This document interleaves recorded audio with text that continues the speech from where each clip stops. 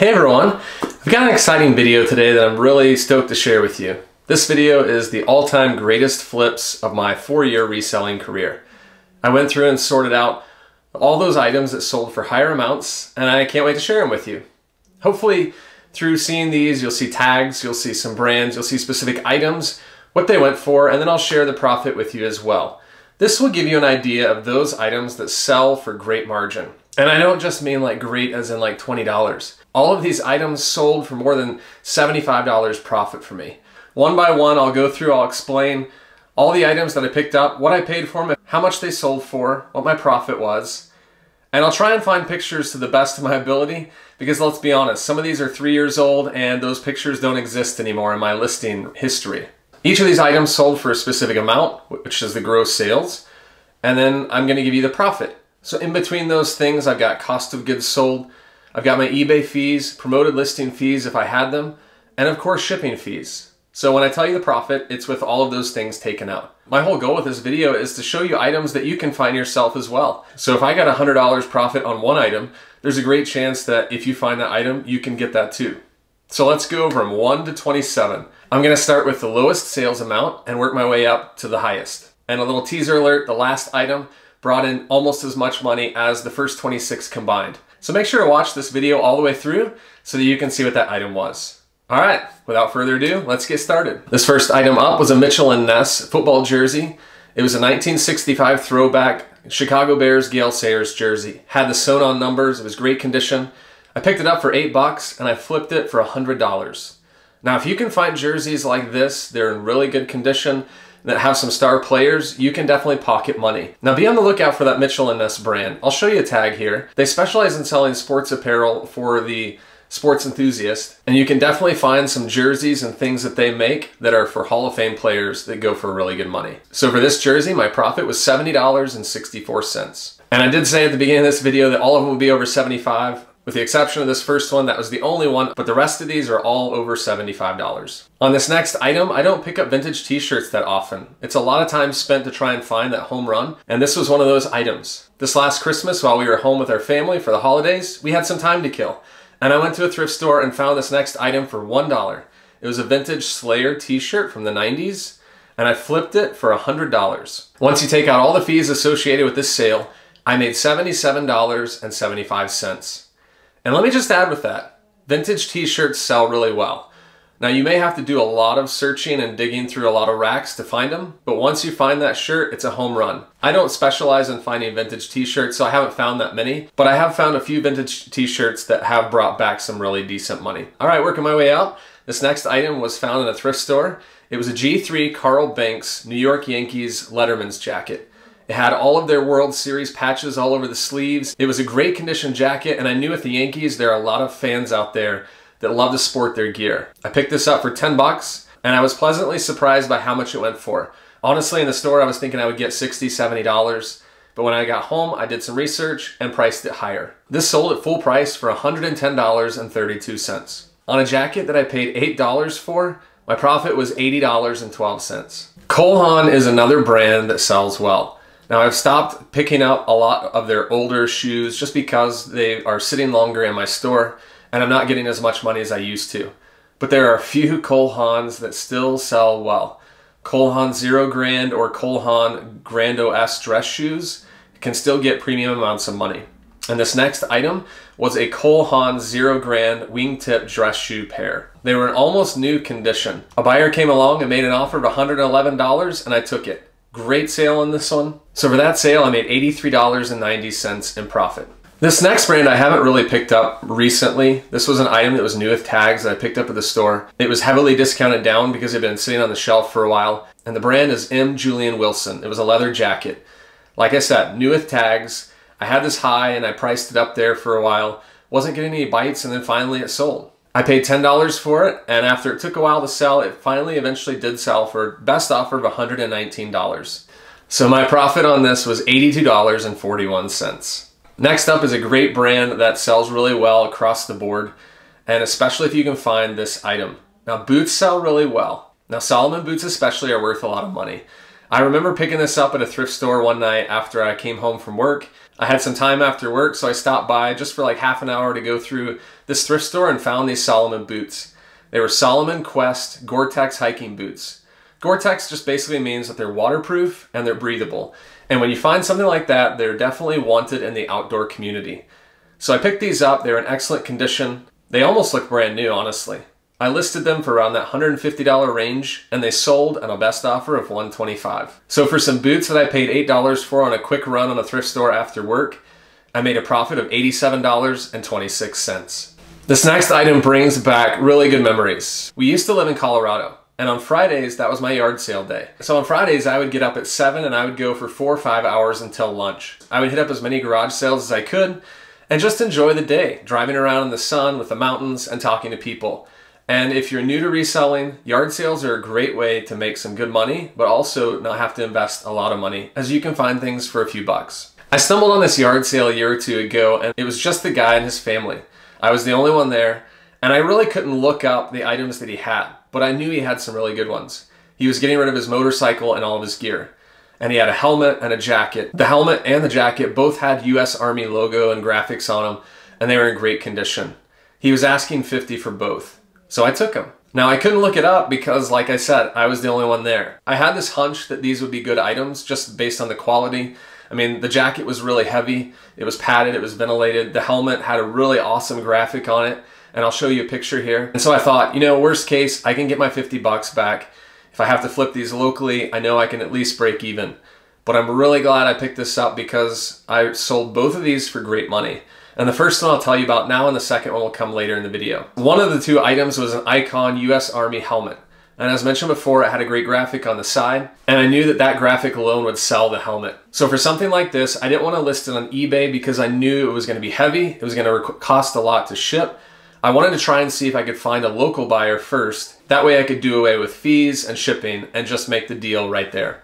I listed this piece for around that 150 to 175 range on Facebook, and within a few weeks of listing it, a buyer came along and offered me 125. Now that's a definite steal right there. As mentioned, I didn't have to pay shipping, I didn't have to pay eBay fees or any other fees. And once you sell something on Facebook, you're not going to get a return. So I knew that that was a great offer. I accepted it. And away this helmet went. So on that $125 sale, since I didn't have any fees, $100 was profit. And with that said, don't be afraid to look up motorcycle gear, helmets, jackets, pants, anything like that can bring back some really good money because those things sell for a lot of money brand new. Next up is a pair of cycling gear. Those of you who have been watching my videos have probably seen me highlight different brands. And so I don't want to go over all the brands because I've mentioned those in videos past. But this specific brand, Sidi, is a great one. And I've hardly ever found anything by it. But these shoes that I found went for great money. Now the brand Sidi is S-I-D-I. And they're a premium shoe that if they're in excellent condition, can sell for over $100. And since I'm going up for my last sale, I got more than 125 for these. These Sidi cycling shoes went for 135. Now when I was in the store, I didn't know that I would get that much. I honestly thought I would get 70 to 80. Got home, did some research, and found that I could list them for a lot higher, and then was pleasantly surprised when they sold for eventually 135. I paid $8 for these in the thrift store, and my profit after fees was $101.91. Besides just being in like excellent condition, I think the thing that really sold these shoes and something that highlights like some of the newer cycling um, shoes was the fact that they were the BOA lacing system. And most of the cycling shoes you're gonna see out there have the Velcro to close, but the BOA, you just turn the knob and it tightens, or you can push a button and it loosens for quick adjusting. So if you find something with a BOA lacing system, whether those are cycling shoes or golf shoes or even hiking boots, you know that those are gonna go for a little more money than just the standard lacing shoes. All right, next up, got another outdoor brand, another hiking boot for you, and the brand is Asolo. Now, Asolo shoes sell really well. Doesn't matter what condition they're in. I've honestly sold them in a range from excellent, excellent, like almost new, to scuffed up, marked up, and worn. And they still get a high price. Now these shoes that I found had minimal signs of wear and they were the Asolo Fugitive hiking boot. I paid $10 at the thrift store, and they eventually sold for $139.79. Asolo is a great brand, be on the lookout. All right, the next item up is the second item that I got at that yard sale with the motorcycle gear, and it was a US Army jacket that I referred to earlier. Now again, I paid $25 for it as well, and it ended up selling for $145. This item I did list on eBay because I knew I could I had a box large enough to fit it and I knew that there would be a buyer out there that would want it. So after fees, I made $92.63 profit. Let me just share a tip on motorcycle gear, specifically with jackets. One, you want to find some that are ventilated, meaning they get a little bit of a draft for warmer days for riders. Two, you want to find some that are heavily padded. People will pay up for those jackets that are heavily padded in the like in the unlikelihood that they do get an accident, they're protected. And three, if it has graphics of some sort, like some brand, on this one, the US Army was a great graphic that would connect with someone.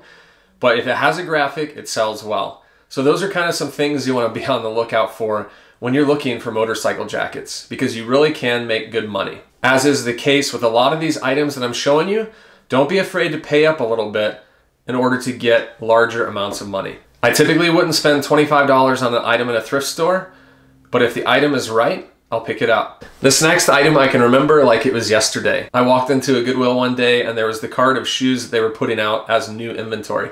And there was a pair of New Balance 996 shoes. They were blue with red trim and they looked brand new.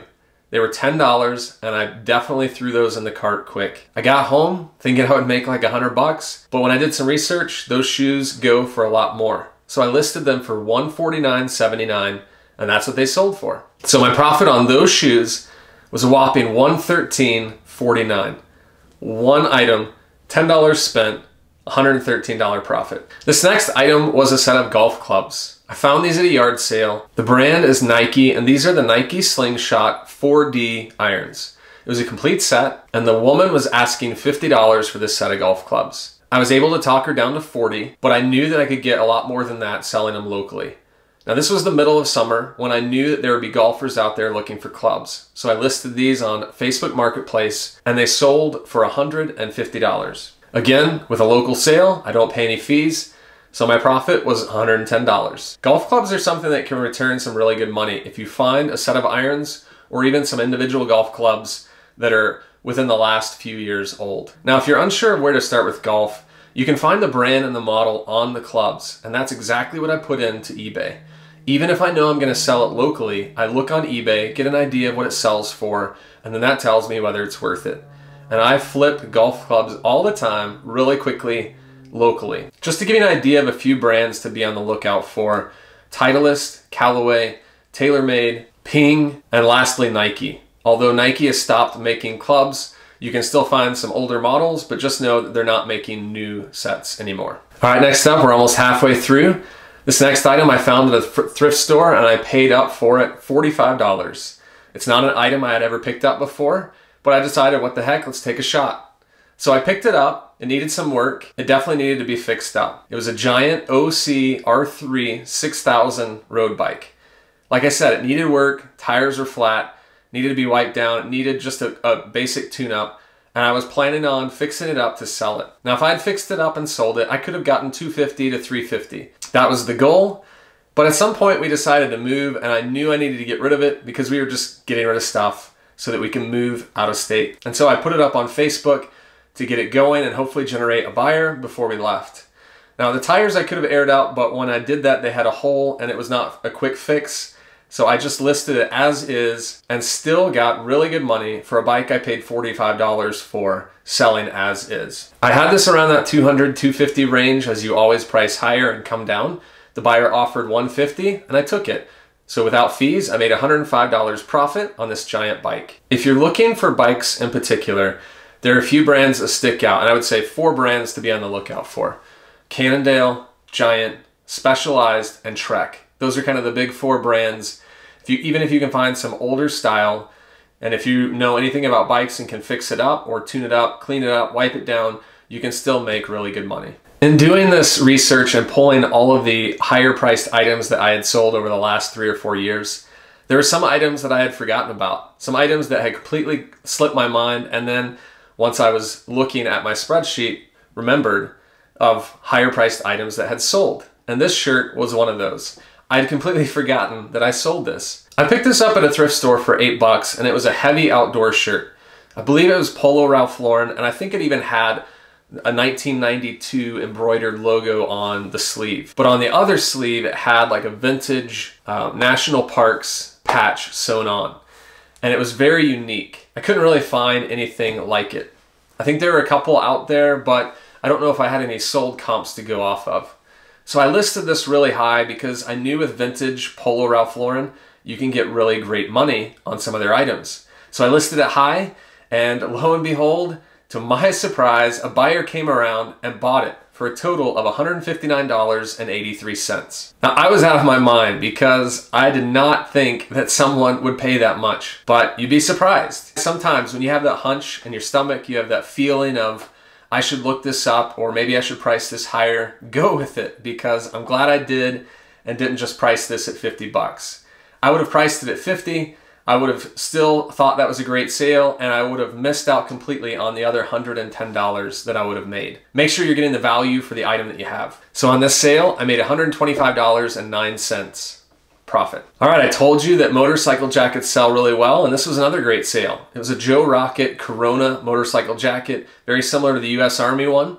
I paid $30 for it at a, at a Goodwill, and I sold it within a week or two of listing it for $169.79. My profit on this jacket alone, $101.94. Item number 16 of the 27 I'm telling you about today. This was a fun one. I don't typically pick up video games and consoles. The lady was asking $30 for a Sega Genesis bundle. Had the console, two controllers, and 10 games. It was all in a box. I offered her 15, she declined, said she would only take 30, so I took it.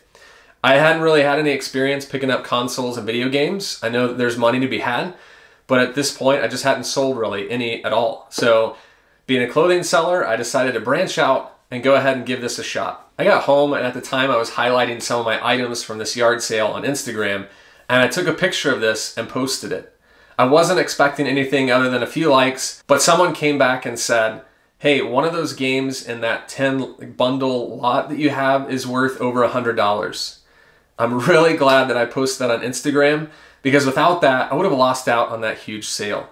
I was going to bundle it together and sell it all as one. The game was Sega Genesis Contra Hard Corps. Had the box and I believe it had the manual. I did some research and in fact this game was selling for about that 80 to $125 range. So I completely took that out of the bundle, I listed it separate and within a week of listing it, I took a best offer of $110 on one video game. That to me is mind blowing. $110. Now, some of you out there are saying, yeah, you can make money on video games. I just had no idea that you can make that kind of money on a video game that was used. So I more than got my money back on the whole bundle, and I still had a system, two controllers, and nine games left. So I threw that up on eBay, and it took a while to sell. Surprisingly to me, I thought it would go faster, but I eventually got an offer for $60 and decided to take it because I had already made so much money on the game. So for that Sega Genesis bundle with the Contra Hard Corps game, I made a total sales of $170. Once you subtract out fees and my original $30 investment, I made a total of $105.13. So thank you, random Instagram commenter, for letting me know about that game.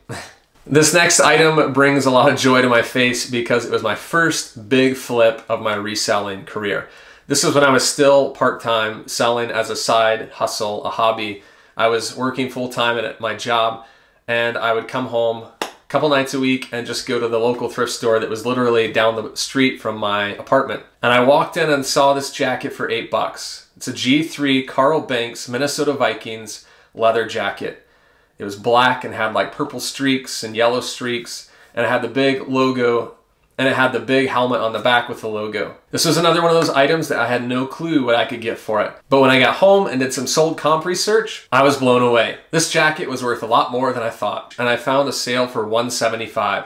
So I listed it $175 and it sold for 175. My profit on this sale alone was $136.19. All right, next up, was a brand I don't find actually all that often. And the brand is Spyder. They specialize in outdoor gear, but more specifically, like ski uh, ski gear, outerwear, winter clothing. I found this jacket for $40. It was a women's ski jacket and it was new with tags. For me, $40 was a lot to put into an item at this specific time. I was still kind of new to the game and I wasn't sure how much I was going to get back. But I took this home and glad that I did because this too went for $175. My profit on this jacket after the sale was $97.75. All right, this, ne this next item up, I've already somewhat talked about. It was a very similar golf set of clubs to the one that I mentioned before. These were Nike Slingshots. They weren't the 4Ds, so they were a little older, but I still got great money for them. And these I actually got better profit margin because I found them at a Goodwill. And at Goodwill, they were just marked $2 a club. So it was eight clubs in the set. I paid $16 total, listed them on Facebook, and within a month they sold for $175. My profit on these golf irons was $149 because I had no fees. Item number 21. This was the first item I found that was a big home run here in Arkansas once we moved back. I picked up this Harley Davidson leather motorcycle vest for $30 at a thrift store. It was a 3XL, which is a great size, and it was in great condition. It didn't have any like good graphics on the back or the Harley logo or anything like that. It was just a standard black leather vest. I priced this at $179.81 and it sold full price. My profit margin on this was $119.78. Harley Davidson is a killer. If you know what to look for, their vests, their jackets, their leather pants, even their casual shirts and sweaters and things like that still sell well. And the larger the size, the better, especially with Harley. Men's, women's, it doesn't matter, it sells well. So all I'm trying to say with all of this is pick up Harley Davidson. I've got another pair of boots for you. These were vintage 1970s Red Wing boots. When I stumbled on them in the store, I didn't know they were Red Wing, but I almost just passed by them without looking. They were $20. They were kind of a little high for me to pay for boots, but man, I'm glad that I looked them up. These vintage Red Wing boots had a, a few scuffs around the rim, a few scratches here and there, but I brought them home, I polished them up, and then listed them on eBay. I had an exact sale to refer to. They had just sold for around just under $200. So I listed them and they sold. $179.81. My profit on these vintage 1970s Red Wing boots was $127.64. If I had to tell you about my favorite flip of my career. This would probably be it. This item was amazing. I, put, I paid a quarter for it. It was one of those days where I was out all morning going around yard sales around Denver. It was my last stop of the day. I was tired. I was debating whether I should just go home. But something in me said, just go, you're close to home, and then you can be done. I went and I scooped up quite a haul from this lady. She had a bunch of vintage pieces from some backpacks to some hats and shirts, but in a box for 25 cents, was this hat that was absolutely beautiful. I picked it up because I thought it looked cool, but I had no idea how much money I would get for it. I didn't even look up comps. I figured 25 cents for a hat, I can at least flip this for 20 or $30 and make 15 or 20 profit. So I came home and I was ready to list it. I took the photos, I was drafting the listing, and I did some comp research.